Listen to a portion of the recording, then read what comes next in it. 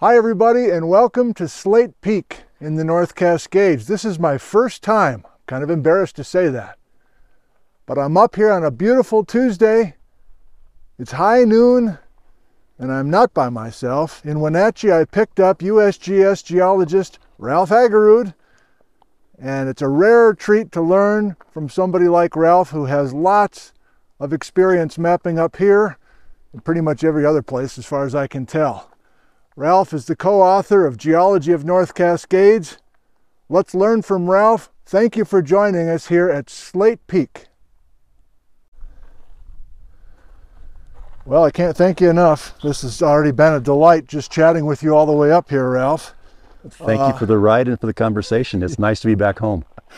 This is home for you. You warned this me that as soon as we got you up here, it'd be hard to get you back in the rig. Well, when's the last time you were up here? I think it was about 15 years ago. Okay. And you were up here regularly mapping uh, how long ago? We back in the early 90s maybe? Yeah, 30 years ago. Okay, good. Well, we're just going to film as we go, and uh, we just got out of the car. We parked old Whitey down here at the, uh, uh, as far as we could drive up Slate Peak off the top of your head. What's our elevation here? We're about 7,200 feet. 7,200 feet elevation. That's as high as you can go in Washington? I think this is the highest road you can drive in Washington State. I believe it. So we're eventually going to head up to that lookout, I think but the geology comes spladam right in front of you. And so if you want to drive all the way up, I'll put a GPS location for our parking spot here at Slate Peak. And this is just a few steps from the parking lot and it gets good in a hurry. So yeah, let's, uh, what unit are we in here? What rough age are we and what's the attraction for this outcrop here? We are in the Slate Peak member of, uh -huh. of the Virginian Ridge Formation okay. of mid-Cretaceous age, probably Cenomanian, although that's not definite. Um, Cenomanian is about 95 million years ago. Thank you for that. And we stopped here because the rock has holes in it. And if you come over here and look closely, you can see all of these little spots where something has dissolved out of the rock. Okay. And this is a mudstone. And in some places you can see the holes are, are rounded or concentric. And I've got a piece I picked up earlier hiding under your hand. Mm -hmm. Shows this better. Here's uh, a cast of the beast that's making these holes. And here is a cross section through it. Oh my lord. And these are Actaeonella. They're a thin-bedded spiral snail. at 7,200 feet or whatever you just said. Yeah. Okay. And um, to cut to the chase. Yep. Uh, this is one of the two places where rocks that have been called Virginian Ridge have marine fossils in them. Marine. And these are an anomaly in the Virginian Ridge. Most of the Virginian Ridge is clearly not marine. It's a fluvial deposit. But here we're apparently shallow marine. Um, when I was working up here, I was aware of this fossil locality and also aware that fossils can tell us how warm the water was and therefore what latitude they were deposited at. Mm -hmm. And I asked to have some of the Burke Museum's collection of these shells sent to the expert on Actaeonellas. And I asked him, can we tell from this how old they are and what latitude were they deposited at? And he wrote back, well, yes, these are brackish water snails. Okay. And if you tell me how old they are, I can give you the latitude. Or if you know the latitude, I can tell you what, how old they are, but I can't do both at the same time. And we don't know the age precisely enough to get a paleo latitude, nor the paleolatitude well enough to say what the age is. Oh, you're kidding. so the, these are mid-Cretaceous or, or, earliest late Cretaceous uh -huh. brackish water shells. The, the very, very thin shells, this beautiful, delicate structure, are telling you that there, there's no wave energy here. So we're in very protected waters. Uh -huh. um, and apparently they were shallow water. I guess we know that from the biology. I don't know that from the shells. Right. Um, and they're an anomaly in the otherwise freshwater Virginia Ridge Formation. These aren't ammonites, are they? Or no, no. Th these are snails. Okay. So yes, they're they're mollusks, but they're a, not a mollusk with a head and, and tentacles. Um, they're they're a mollusk with a foot that crawls over through the mud and eat things that way. So if somebody could come up with a really precise date from this part of the strat column, there could be a way to Potentially. Poten-. That's my memory of what I was told. And Yeah. unfortunately, I've even forgotten the name of the paleontologist that I was in correspondence with about this. And they're just in the black stuff. They're not in this. uh, What's what's the the weathered stuff? Ah, okay. This gets challenging. Got a um, hammer if you need it. Uh, okay. This is, is a sandstone because it's got a shale chip in it. Okay. These rocks here around in the Methow block around Slate Peak and Harts Pass Mm-hmm. are full of sills of granodiorite and tonalite Oh. that look just like a sandstone. And the does. sandstones are lightly, lightly metamorphosed and stuck together, and they're very hard to tell from granodiorite or tonalite. And so the, the USGS geologists who worked in here in the 60s doing a mineral resource evaluation in the wilderness had a hard time telling sandstone from pluton sometimes. Um, but this, there's a shale chip. This is a sandstone. What's the shale chip? Uh, I'm sorry. There- There's a little, a little- little black piece here. Got it. There's a black piece here. Um, I'm not seeing any better ones. And so it can't be a pluton. You Can't be a pluton. Yeah. Okay. Um, so this is a sand layer. The Virginian Ridge Formation is. This is Virginian Ridge. I'm facing south right now. Yeah. Virginian Ridge was deposited, sourced from the west. We're eroding away the Hozameen Group, which is a chert and greenstone terrain, and making lots of, of chert sand and the greenstone weathers to mud. It's being carried from the west and interfingers with and is overlain by Winthrop Formation, which is mostly sandstone weathered from granitic rocks east of the Pasayten Fault, we think. And, and the sands in here, we're essentially at the basin axis right now. They're finger, and, they, and this sand probably has both chert and granitic detritus in it. That's what it looked like to me. But all marine, or we could have some terrestrial stuff coming into a shallow marine scene here, Well, the shells are telling us it's marine, right? and the um, regional setting are telling us that it's mostly terrestrial because most places where we see rocks that look like this, they have leaves, they have sticks, and they have in situ stumps in them. Okay.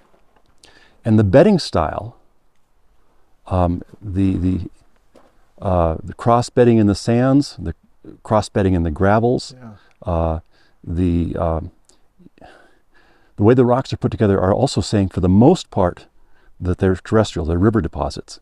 But in this place where we are right here, which is at the basin axis, right in the middle where they interfinger, Right.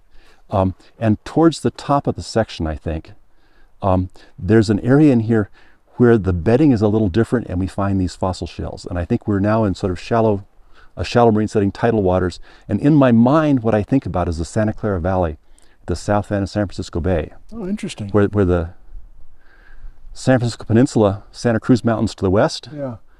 shedding debris to the east, and the Diablo Range to the east, shedding debris to the west. Uh-huh. And they interfinger to a valley, Santa Clara, which as you go north becomes shallow marine, south end of San Francisco Bay. Interesting. And I think of a setting like that for this. Sure. Well, I mean, I think even I would notice these fossils. I think my eye would be drawn to this somehow. My God. Well, they're striking. And so the first workers in here thought that the Virginia, and the second round of workers thought that the Virginia Ridge was marine because it has these fossils in it. Right. But after many, many days of walking through these rocks looking for more fossils, I will tell you that these outcrops of this bed are an anomaly.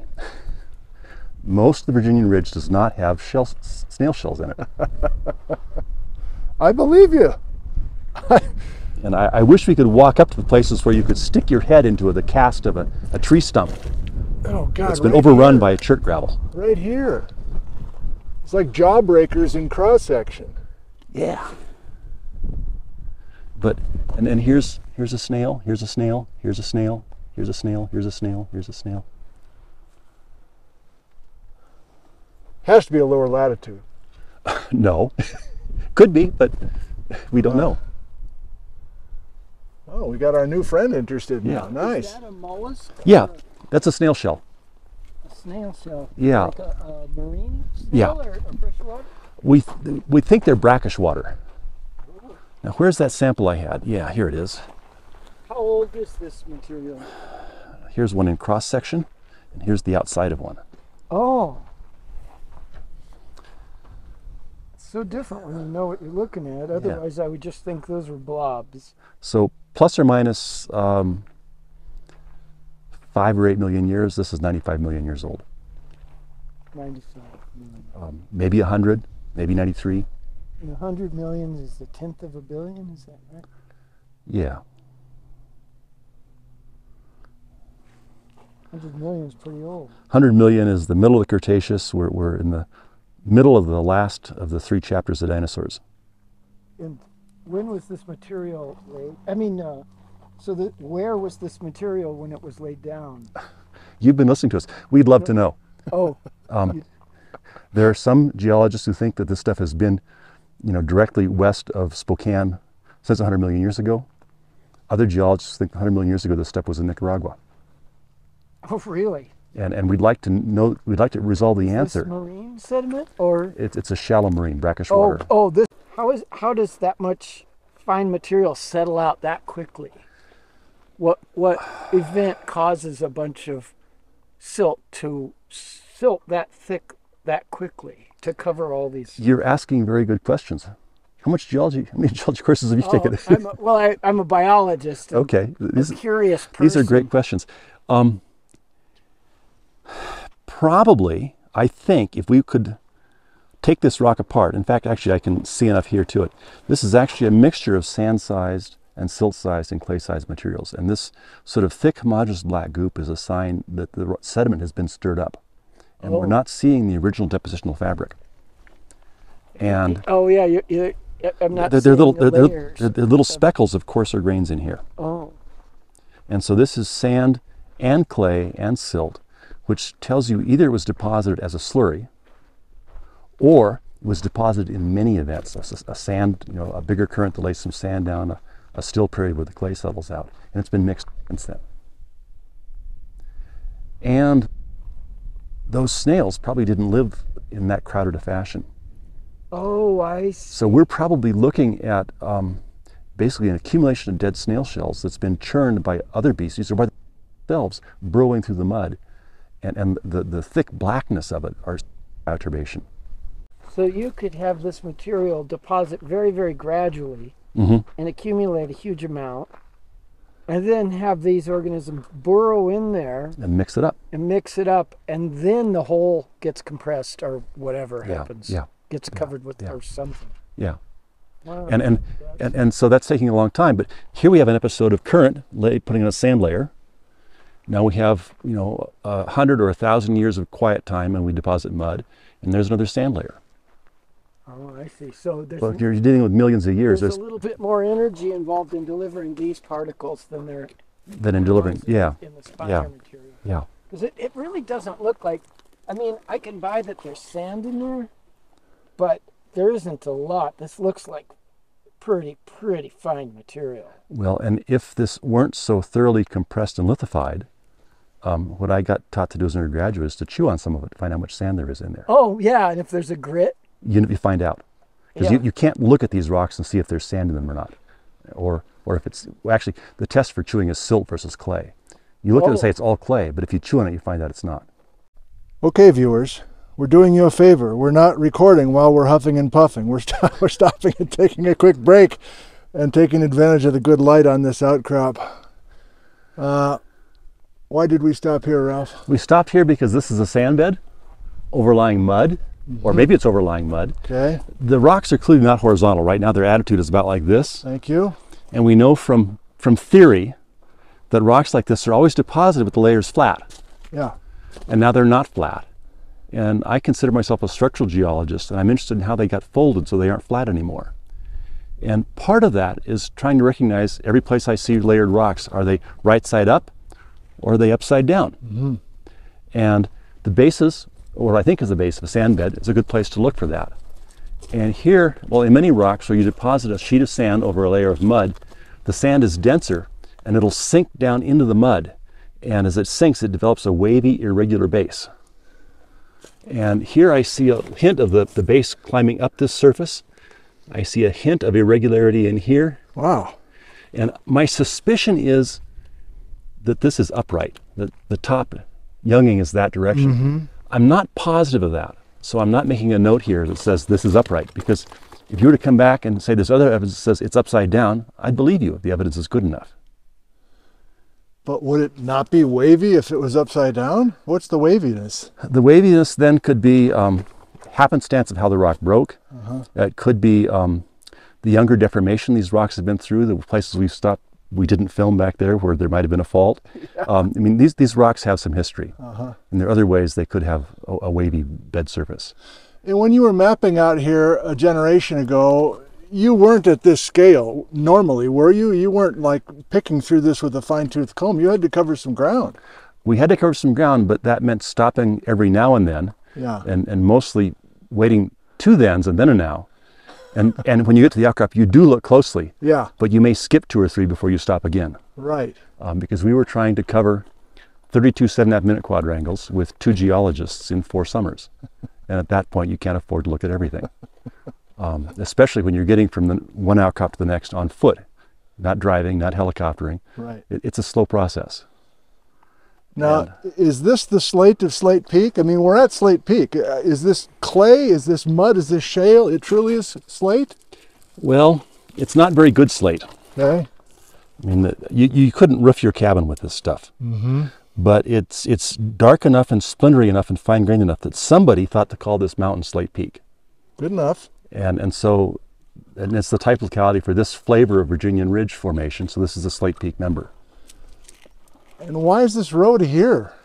Was this a prospecting thing originally to go look at this slate for economic reasons?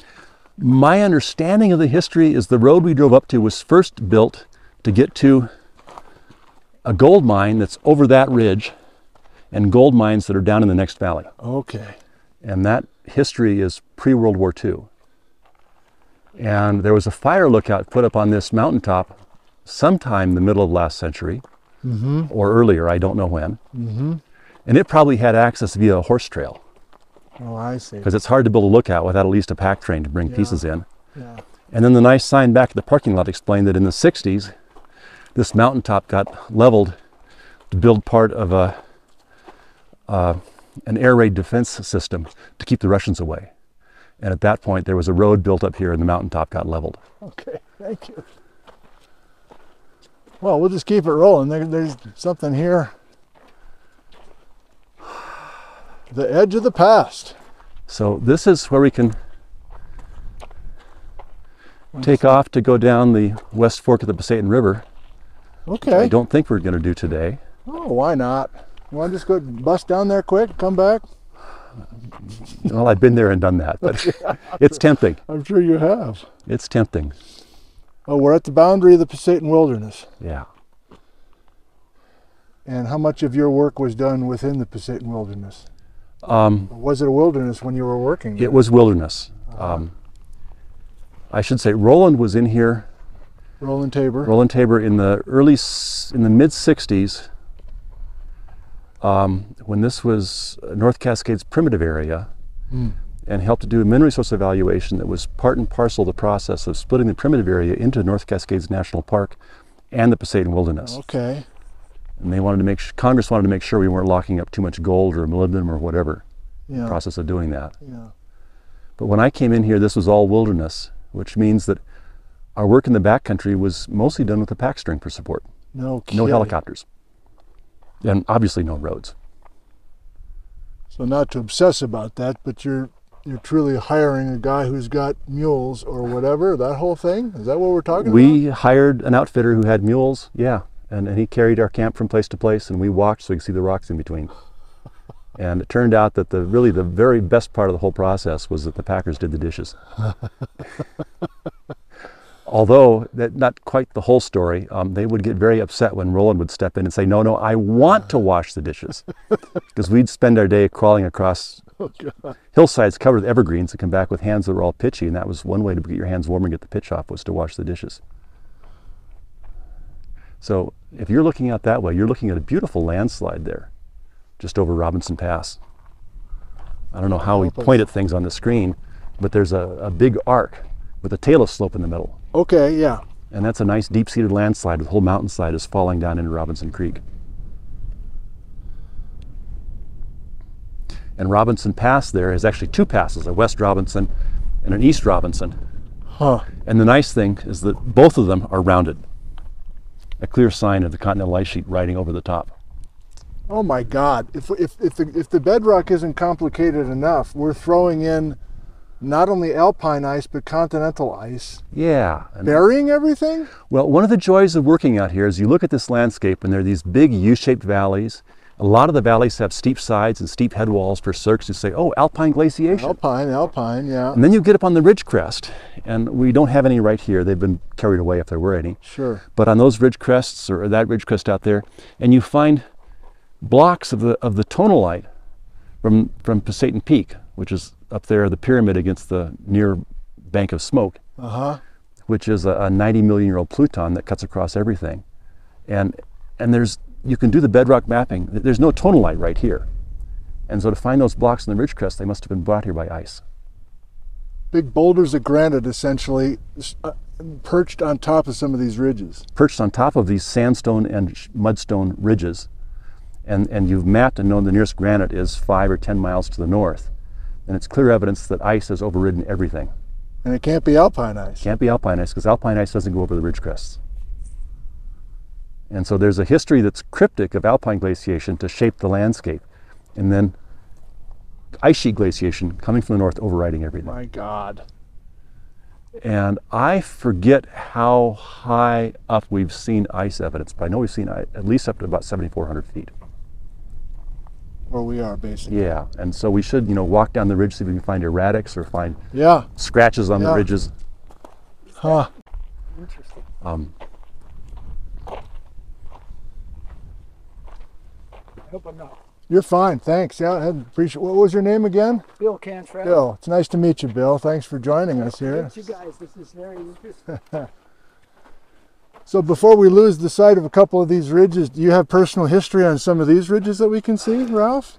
well, I've walked this one and I've walked this one and I didn't walk that one. I have not been up Robinson Mountain. I haven't been at Monument Peak. I haven't been up Osceola. I've been on most of the ridge crests from Osceola to Robinson Pass. Um, I can tell you that Osceola is wonderful. If we could be five miles that way and over the ridge and look back, we could see that the top of Osceola is Winthrop Formation on top of a thin skim of Virginian Ridge on top of Hart's Pass. And beneath it, you can draw a line. Underneath that is Ventura Red Beds of the Goat Wall Formation, and then Winthrop and Virginian Ridge and Hart's Pass. And at Osceola, you're clearly at the south end of the Chuwanten Thrust, which is the big thrust in the Methow that's moved things, I don't know, 10 kilometers or more from the west to the east, stacking older rocks on top of younger rocks. All in the vintage of mid Cretaceous, not All only in- the rocks, but the, the folding and thrusting. Yeah. All of those rocks I mentioned, the Hart's Pass, the Virginian Ridge, the Winthrop, the Goat Wall, um, span an age range of probably about 105 or 108 million years to maybe 90 million years. Hmm. And the thrusting is probably older than the 88 million year old, 87 million year old Fawn Peak stock or the roughly same age Pasayten dike. It's, it's not a dike, but it's a big, elongate, narrow pluton that cuts across things. And so the name of it is the Pasayten dike. Hmm. Before I turn the camera off, while we huff and puff another stretch, looks like more of the quote unquote slate Yeah. down by the road, and then more of the sandstone, and maybe a pluton cutting everything. Uh, maybe plutonic rock. Uh, there, the this mid-Cretaceous set of sediments in the Methow, in much of the Methow block, is threaded through with sills of, of fine-grained granodiorite or tonalite, and it helps hold up any of the peaks. And it gets very hard sometimes to tell an intrusive rock from a sandstone. So they're both quartz feldspar biotite, and they're both well cemented, and they both have fairly even grain size and you've got to go look for the shale chips that show it's a sandstone, Yeah. or um, the beautiful angular biotite, well preserved, that suggests it's not been carried by water and rounded at all, but it's a pluton. And the plutons, dikes, and sills can be both mid Cretaceous and Eocene. There's both generations of this igneous activity up through here. Both generations, we think that the, the gray ones that are parallel layering are mostly mid Cretaceous. Okay. We don't have any many numbers to justify that, Mm-hmm. but they, they look like the the big bodies, the big plutons that we do have dates on that are mid Cretaceous. The cream colored dikes and also basaltic dark dikes that cut across the layering um, look a whole lot like the cream portals, like the Golden Horn Batholith Sure. or the Monument Peak stock over here, which we have numbers on and are, they're Eocene 50 million years old. Suddenly we're 50 million So we think the dikes younger. are that Yeah, age Yeah. also. Yeah. And so, for example, Dead Horse Point, where we drove around, is is there because there are a whole lot of these big cream-colored dikes that are closely spaced together, that are stronger than the enclosing mudstone and sandstone, and holds up a steep place. And they're the Eocene dikes. Well, just personally, it, it's kind of fun to be at one particular spot like this and be able to tie much of the bedrock geology to these two major chapters that I continue to try to think about the insular chapter and then the Silesia chapter. And those are the two main narratives, it seems like. Yeah. At first glance, it looks chaotic and it's, oh my God, there's all these individual things. But those are the two broad generations of major action. Well, yes. I mean, th- there are more stories. There's an older story. There are Jurassic rocks underneath here. We see Yeah. bits and pieces of up in Manning Park and down around Twisp, Yeah. but we don't see much of it. I can't tell you any story about those. Mm-hmm. They they were there, were formed on top of something else that I don't know about at all. Huh. And if we only knew how to look at it, there's probably a Cascade Arc story in this landscape somewhere. But I don't know what it is. Whoa. You know, where where where 25 million years ago was the land surface here, Yeah. and we know it was above our heads. Yeah. Um, but if we go to the border on the west side of Ross Lake, we can find pieces of that surface underneath the Skagit volcanics or the volcanics of Mount Rahm. Okay, hang on. Now, now, now you got me thinking. Hang on just a sec, Ralph. Come on. Uh, how much?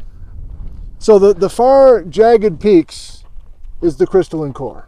Yeah, the ones you can barely see that have snow on them out there, out there, and Ruby Mountain, which we can see, but it's very gray in the smoke. Sure. Those are in the core. Okay, those are in the core. And everything this way from the far horizon is part of the Methow block. And we've been flirting with this idea, and I think you were on record the last time we talked to you, that there's potentially some core complex action here, Mm-hmm. where this stuff that we're hiking in today, and much of this in the foreground needs to go back. If it's a, truly a core complex, this is the upper plate and if we go back in time earlier than 45 million years ago, the crystalline core is down deep and we're shoving this stuff back over. That's a that's a departure from your cascade thing you Um, just mentioned, but it just I- triggered that thought. I'm, I'm going to wave my hands a little bit because I need some geometry to show things. This is a perfect This place is, to do This is a good question, and I recall once showing a manuscript to Dave Brew for review, and he said on the Ross Lake Fault, which I worked on for my dissertation, yeah. and which I understand. Well, it's, it's in the view here. It's between us and Ruby Mountain, Okay. and all the evidence is that presently the Ross Lake Fault is is roughly a vertical structure. Yes. And Dave said, Well, you're describing it like it's a core complex feature. How do you know it wasn't tilted from being a low angle normal fault up to be vertical? Ah. And my response was, Dave, you can't think that. Which is a fairly weak response. I mean, maybe it, maybe it was, but I don't think that way. And, and I think if you were to ask me to explain the Cascades, I would say that here's the vertical Ross Lake fault. Yeah. Here's some sort of unknown core complex low angle detachment fault. Sure. And the core has come out from underneath from the southeast and slid along a, a vertical boundary that's the Ross Lake Fault Zone.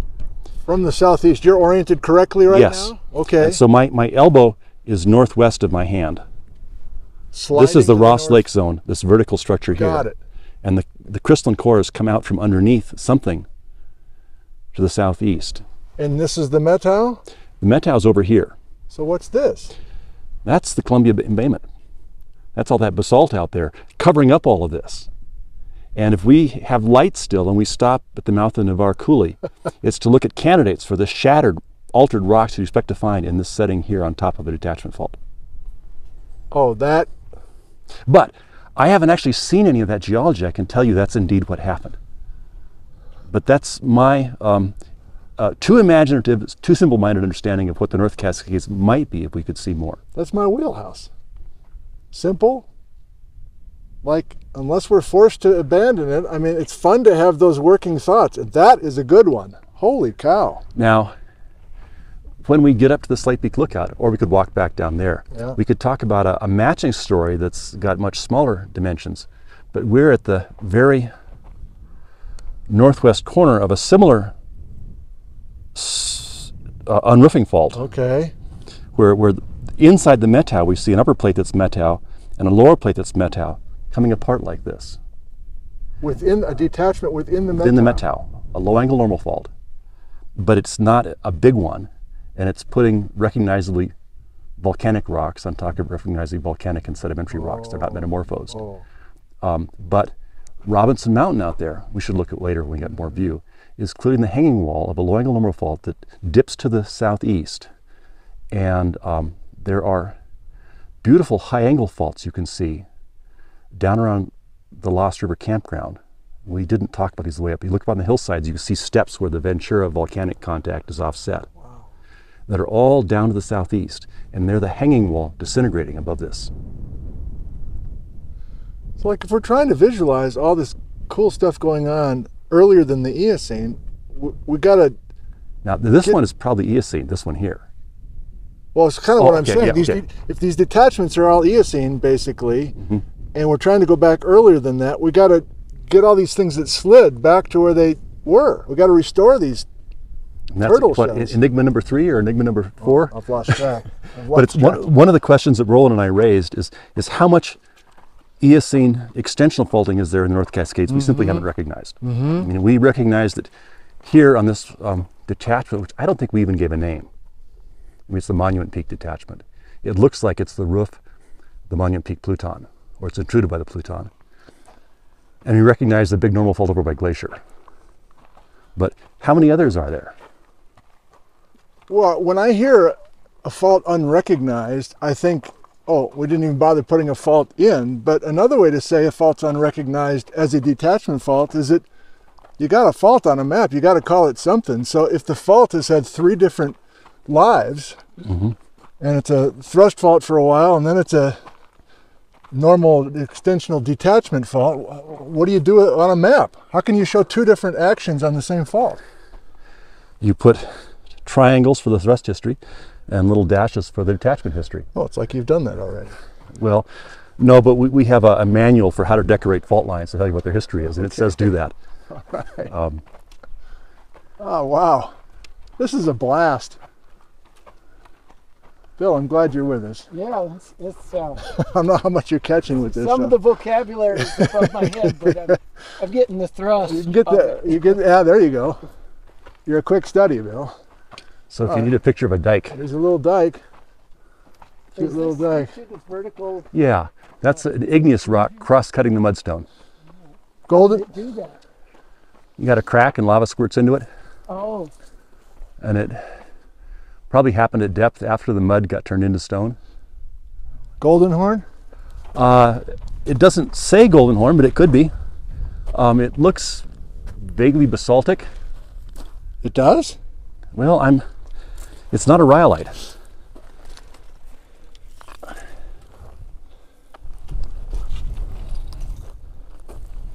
It's got dark phenocrysts.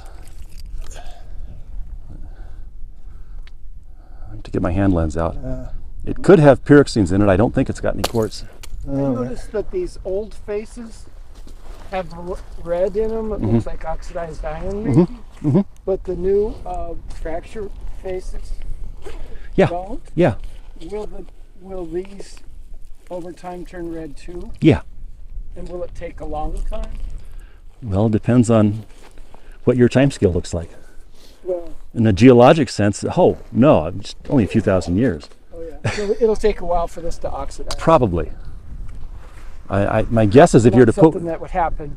put one in your yard, it wouldn't look different next next year. Look the same. That's my guess. So, thinking Ice Age, Mhm. beautiful U shaped valley, Uh huh. alpine ice. Is, is the alpine story and the continental ice sheet two separate times in your mind? Are they merging, or the alpine is late after the ice sheet is taken off? Is there any working published work on that, or even your tentative thoughts about the timing of this ice? We know on the west side of the range around Seattle, Okay. that the alpine story is distinctly older than the continental ice, the Cordilleran ice sheet story.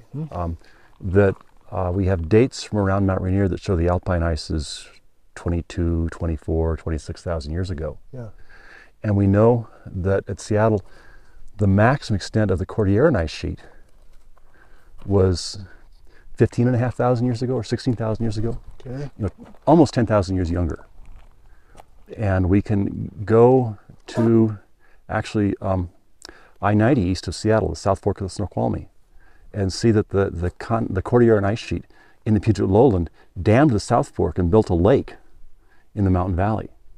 And it's not at all clear that there was an ice sheet, uh, an alpine glacier coming in the other end. Huh. There are the youngest advance up the icicle, the Rat Creek phase. It's got about the same age as, as the ice sheet in Puget Lowland. So there may have been a minor alpine glaciation, but not the most extensive. It was coeval with the Cordilleran ice sheet. And then in places uh, on Mount Baker and elsewhere, there are indications of a younger advance at 12, 13, or 14,000 years. But I just don't know much about that story. You know, get John Riedel to talk to you about it. Sure. Um, I just don't know that story much. But your instinct is to carry that chronology in Western Washington and getting into Central Washington and, and bring it into here, assuming that those advances are in sync, a, a continental ice Yeah, well, at the same that, that's what little evidence we have shows, I think. Mm-hmm. Here we can look at the landscape and see alpine glaciation and see the continental glaciation. The last one w- was younger. So th- there is a sequence. How long between, we don't know. And I don't think, I have no hope of dating here the alpine glaciation.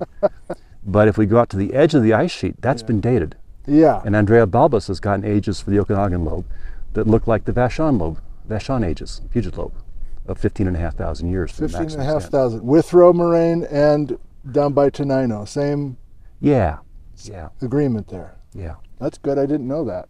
Um, Okay. which is further interesting because it, with the Withrow moraine and at Grand Coulee and in the Chelan, uh, the Columbia Trough at Chelan, the ice clearly advanced and retreated because of climatic factors. There's nothing else to appeal to.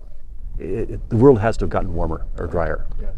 Whereas in the Puget lobe, in the Juan de Fuca lobe, um, there's clear evidence that climate's not what's driving the retreat, the immediate retreat right there. Um, that if, if climate were driving the retreat, um, the Juan de Fuca lobe and Puget lobe would have retreated at the same time. Okay. And they clearly retreated in sequence. First the Juan de Fuca lobe, then the Puget lobe. Closely spaced, but in sequence. And that begins to look like what drove retreat was rising sea level. It floated the tip of the Juan de Fuca lobe, Oh, wow. it collapsed Oh, and wow. cut off the ice for the southern Puget lobe. Oh, wow.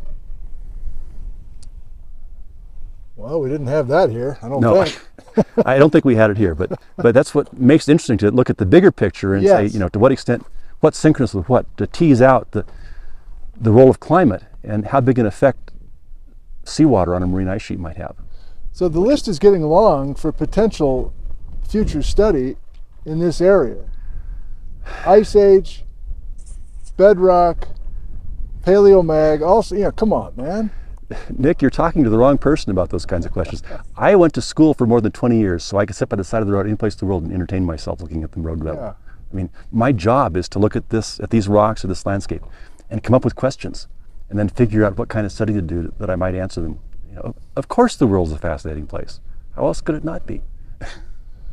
Well, I mean, obviously that's one hope here. We Yeah. get younger folks watching some of these programs and going, okay, well, I guess there's work that could be done up here. I'm going to go Yeah. find some professor to help support me, and I want to mm-hmm. go up and do this work. Yes.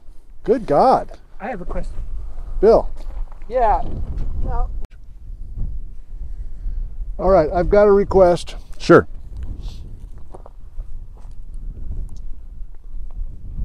So, Ralph, this is gorgeous. That's an understatement. You mentioned that there's sandstone over there, part of the Methow Ocean. Yeah. How much of what we see is part of this Methow Ocean, and where does the ocean fit into our grand scheme of colliding things with our margin? Ooh. Can we talk about questions I know the answers to? um, everything we see this way, we, we, because of the haze and the peaks, we cannot see east of the Pasayten Fault this Okay. direction. Okay. Oh, we're, this is Everything we see- oh my God. And until we go over to the right of Robinson Mountain, those Oh. peaks over there may be across the Pasayten Fault. But in this direction, everything we see is, is west of the Pasayten Fault. Jeez. And in fact, the high peaks, the, the background, are mostly in the Monument Peak stock, which is a, a sibling to the Golden Horn Batholith. It's an Eocene No granite and granodiorite. But it intrudes into Methow, Cretaceous Methow sediments. Okay. And, and also early Cretaceous, maybe older, but Methow rocks. Okay. In this direction, um, I'm going to make mistakes here. No, you're fine. Um, we don't have to do it. We can do it right here. The, the highest peak over there with snow on it is Jack Mountain. Okay. Well, that's Jack. And to the left of it is Crater. yeah. Those are both in the Hozameen group. So those are in the Ross Lake zone. Um, and I, You're getting on your tiptoes now. I, I can't, we, we may be able to see Hozameen Peak out there in the smoke, but I, I Ah. can't recognize it, Mount Hozameen. That's your old friend. Yeah, and, and I just don't recognize it from here. Sure. Um, but except for the furthest peaks that way, everything in this direction is also in the Methow Ocean, with the exception or the qualification that many of the peaks are carved into younger plutons that intrude the Methow rocks, Okay. like Pasayten Peak in here. Yeah. And I think we're probably seeing Castle Peak out there someplace at the border that's also an Eocene pluton. So all of this stuff here we're looking at it is Methow. And as far as we know, to get back to the collisional story, the, the Methow rocks, some of them, and this is work that was done by, by Mark Cole and Lynn Tennyson back in the early and mid 70s. Um, they looked at paleocurrents in the Methow rocks. And work also done by Jim Trexler in the early 80s, who looked at paleocurrents in the, Met, in the Virginian Ridge. Um, that the Harts Pass and the Winthrop came from the east. And the lithologies, the compositions of the sandstones are, are consistent with a source in the Okanagan Range batholith. So they're coming from the east and feeding into an ocean to the west of there, which is the Methow, the Harts Pass Ocean. And I should say we're talking about the, the Albian right now and, and the Cenomanian, so the middle of the Cretaceous from 110 to 95 or so million years ago. And we see that we start at, a, at some time shortly after 110, the bottom drops out of the Methow. And, and we go from being shallow marine and terrestrial to being deep marine. We go from conglomerates and mudstones and things that have leaf fossils and things that have shell fossils that indicate wave action, beach deposits that are all mixed up coarse material. And we go then to uniform deep marine turbidites Deep marine. of the turbidite of the Harts Pass formation. So that happens um, in the early, late early or early middle Albian, uh, 108, 105 million years ago. Okay. The bottom drops out, and we think, and this is mostly Mike McGroder's interpretation, we think that's happening because the crust is essentially a big springboard. We're putting a weight on the outer edge and depressing it, and that weight is the Hozameen thrust sheet, Jack Mountain and Crater Mountain, Hozameen Peak and, and we're overthrusting, thickening, building up, and it sinks. And it, the crust is rich enough that as it sinks, it sinks the stuff nearby it.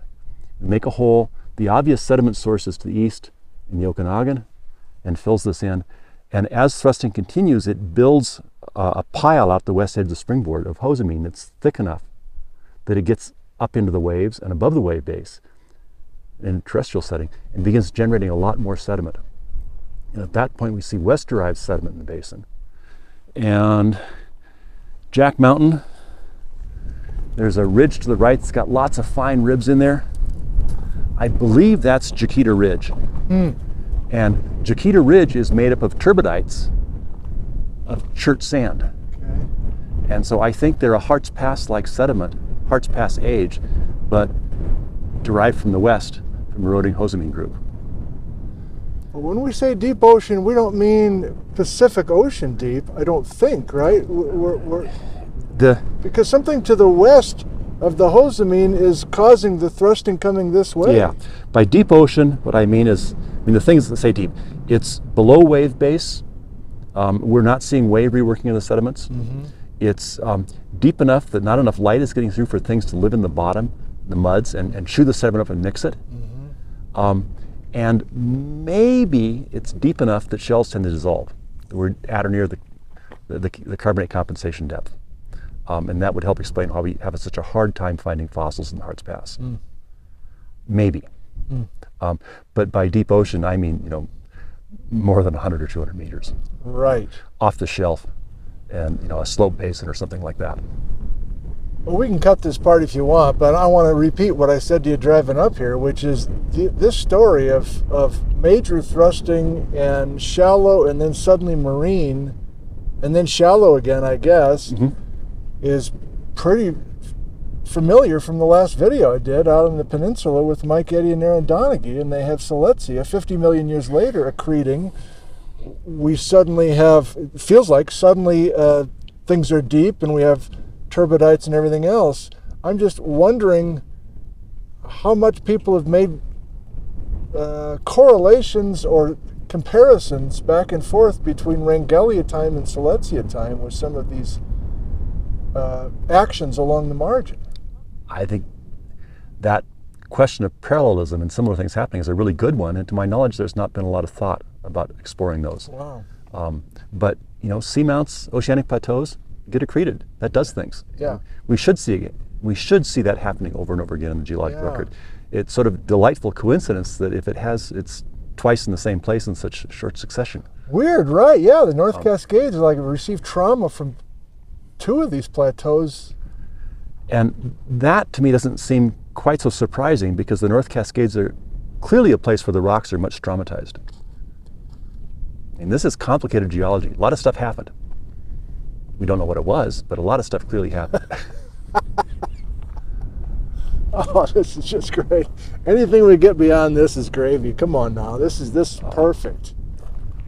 And you wanted to go where? We're not going to. We're not going to go there. I was thinking of going out to this is Haystack Mountain here. Yeah. And the little bump just before there, Uh huh. um, because those are both capped with volcanic rocks that are sitting on top of steeply dipping sediments. And you know, it's time to full prop out here.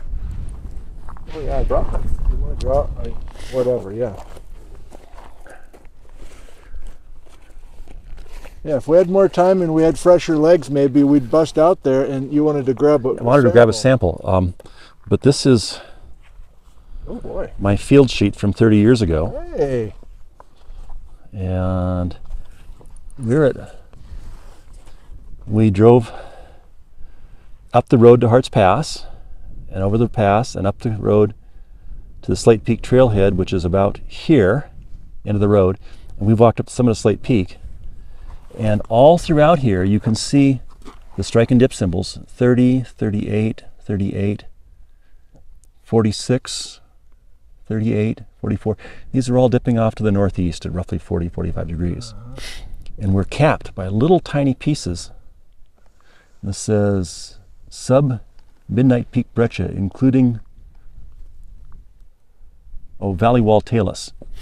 At the time I went through here, I thought this might be Midnight Peak, which is the mid Cretaceous volcanic pile in here, one name for it. And Haystack Mountain itself is volcanics. You see the V in there. Hmm. Um, since then, I've come to believe that some of these ridge capping volcanic deposits that are clearly in pronounced angular unconformity on top of the Cretaceous Right. are, are likely Eocene. Well, yeah. there's got to be a lot of time between the two, right? Well enough to make a 45 degree angular unconformity. Right.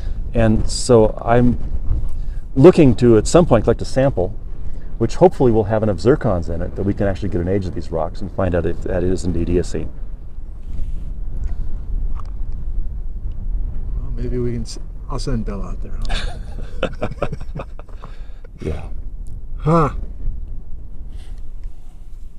Now let's see. Did you publish this stuff here? No, this this is published as part of the North Cascades compilation. Okay. Okay. Good. That's where this geology is out with the, in in, for the world. I wanted to see if what I've, I got my Pasaytens. This is the next quadrangle to the north, and okay, it doesn't go far enough to have my records over in here of the ridge crest with the erratic boulders of gra- tonalite on top. Yeah. Oh, thanks for bringing those.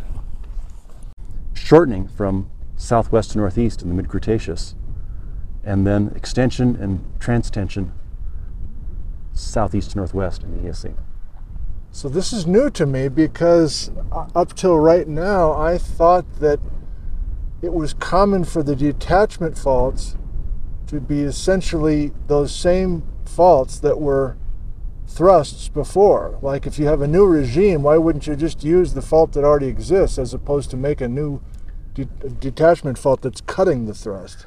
Well, here in the Methow, the it's the question's easy to answer. I won't Okay. try elsewhere. Here in the Methow, the thrusts, the the Chuwanten thrust is a a northwest southeast trending feature that dips to the southwest Okay. And is well situated for movement this way. If you want to tear things apart in this direction, it doesn't do you any good. I see. and and the Devil's Peak detachment is cutting across it, hmm. something like this, and extending hmm. extending the Methow block from the southeast to the northwest. And then, if you want to speculate, the Devil's Peak detachment is reasonably well, situ- reasonably well situated to be a step over from the Ross Lake zone over to the Pasayten Fault. So not even talking about Baja, BC. There has been some rotation, some clockwise rotation of some of these structures. Does that raise your blood pressure to bring that up? Like all you're doing is working with these structures in their in their current orientation. Uh, How messy is it to? bring it on. I, I mean, I you may want to cut this. yeah. But one of the things, one of the great ideas I had that I still think may be correct, but the last piece just never fell into place, Okay. was if you go to the south and southwest of here, over into that land of all those sharp, jagged peaks, Okay. into the heart of the Ross Lake Go zone, over here. To Elijah Ridge, Yeah. Okay. um, that keeps. to the south end of the Golden Horn, Yeah.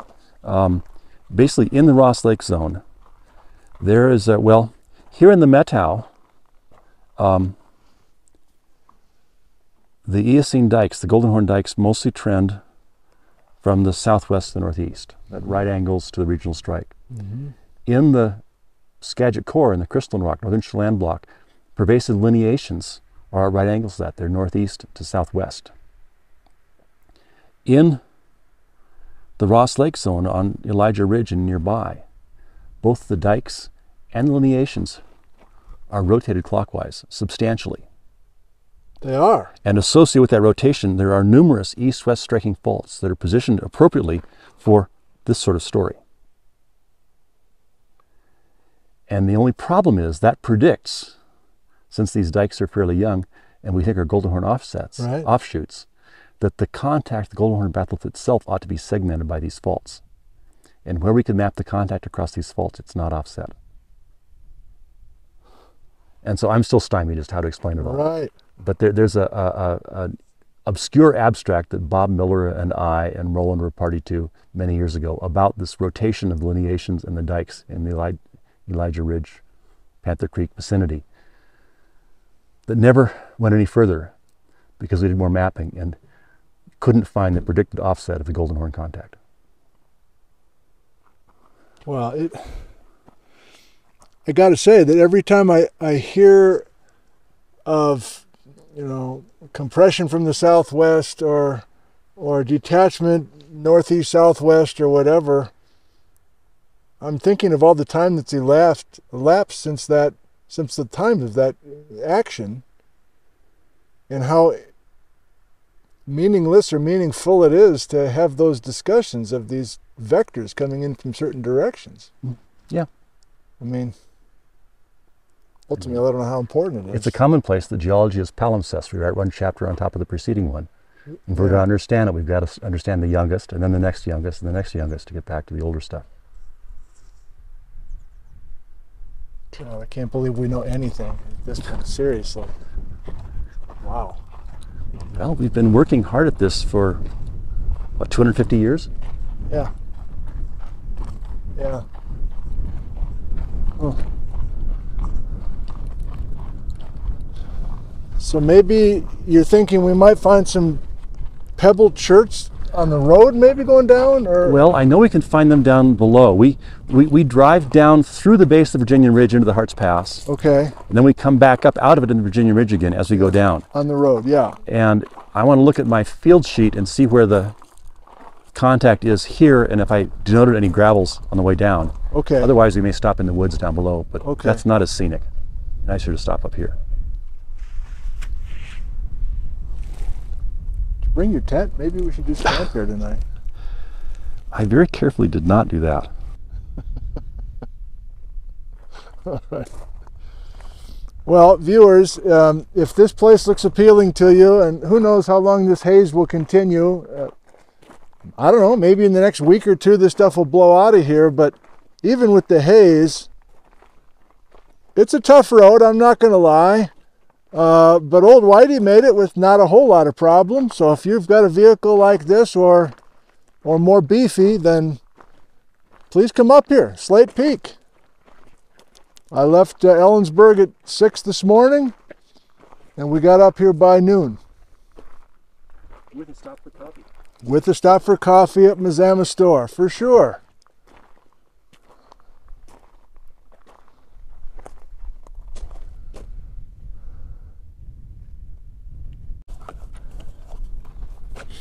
This was your process, by the way. You'd have a, a, a topo base uh, in this kind of these kind of little rectangles. This is, well, if you fold it up, these fit inside an official USGS Brown notebook. And they fit inside the vest of your Filson um, Cruiser's vest, the pocket. Now, you can't buy those Filson Cruiser's vests anymore. The USGS stopped issuing official USGS notebooks 20 years ago or more. And I prefer to let uh, Silicon Valley figure out where I am. And so my records are all in here.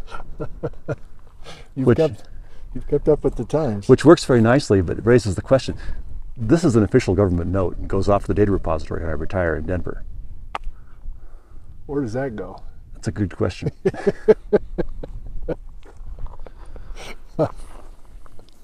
oh.